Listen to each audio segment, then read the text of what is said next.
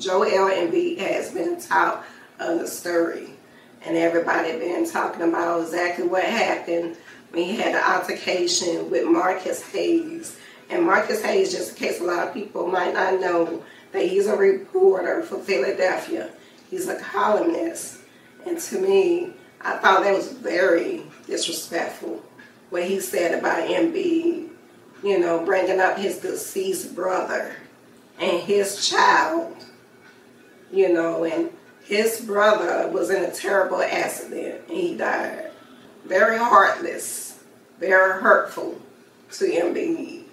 And a lot of people showing sympathy towards Embiid about the situation that occurred. And that led to his three game suspension that the NBA gave him, which I truly disagree with that.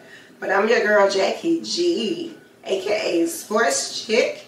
And I want to say thank you all for coming back to my channel. I'm above a thousand subscribers. I do appreciate everyone. God bless you.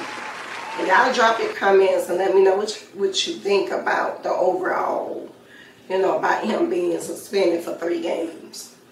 But um, back back on Marcus, you know, I truly believe, I always believe in being professional. And that goes for all levels. When you when you give respect, you get respect. And to me, that was just plain on disrespectful. You know, and be being in a season for 11 seasons. And yes, people do get hurt. People do need time away from playing. I mean, it's not a machine.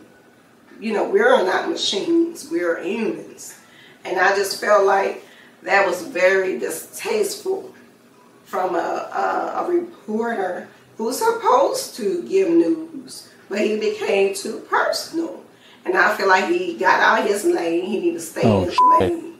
And they end up removing what he said about his family out of it, which he should had it removed. But I truly disagree with the three-day uh, suspension. I believe uh, they should work out some type of uh, you know, repercussion, even if it was just one game. But uh, three games unpaid, which I know Joel's not worried about. He's definitely not losing sleep over it. but yeah, this too shall pass. So we all know Joel being prone, he's prone to injuries. You know, he been having, he previously had back issues and knee issues. And they say he will be back playing next week against New York. So that is beautiful. It's good that he's trying to make an effort to come back and do what he need to do, baby. You know, so they say he's been practicing and trying to get back, you know, but we all know, you know, everybody aging. So he might not be uh, the same Joel five years ago, okay? Because we all aging. And, you know, we might not have the same energy, the same physicality as we used to have. But I believe this brother will be coming back, you know, next Tuesday, they say. And I believe, you know, it's going to take a little time for him to get back in the groove. But um, you do have uh, Tyrese Maxey been holding the fort down, you know, which their record is 1 and 6 since they lost yesterday against the Clippers. And then I saw that Tyrese got injured as well. So, you know, that's a another downer. Um, but you do have Paul George, you know, he had 18 points and he's coming off an injury as well. So he's still trying to get acclimated in their program. So 76ers have, you know, they, they have a lot of things going on, but hey, I believe all teams go through adversity. You know, like I said, the injuries, you know, everybody can get injured anytime, anybody, you know, so um, you know, it happens to the greats as well. So, hey, you just got to take one day at a time and bounce back. But yeah, y'all drop y'all comments and let me know what y'all think about it. But I truly believe it shouldn't be in three three games. You know, I feel like the corporation should uh, try to have a mediation and try to bring both of them um, on one page. You know, which I heard he's still going to be working for Philadelphia, but he's going to be removing that what he said about his deceased brother and his son, which Joel named his son after his brother.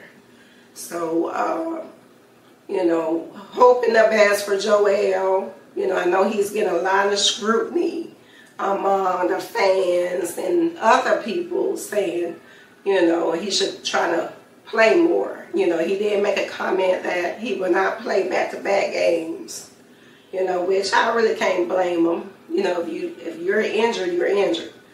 Um, but you know, these corporations can get real ugly. They can get messy. So, you know, if he taking advantage of it, I don't blame him at all. I really don't blame him. But as just to piggyback on Marcus, yeah, Marcus Hayes, I know he did say something about um, in another podcast I was watching. I was watching. He mentioned that the fans pay a lot of money to see Embiid. Do you believe Embiid really can care less about the fans when he's injured? He's already having pressure, trying to, you know, meet the expectations, you know.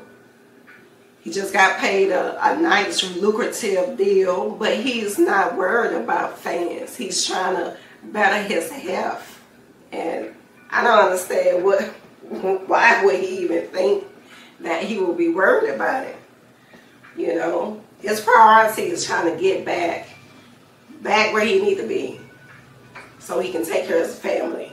and mean, trying to win games for his team, you know, so they can become a synergy.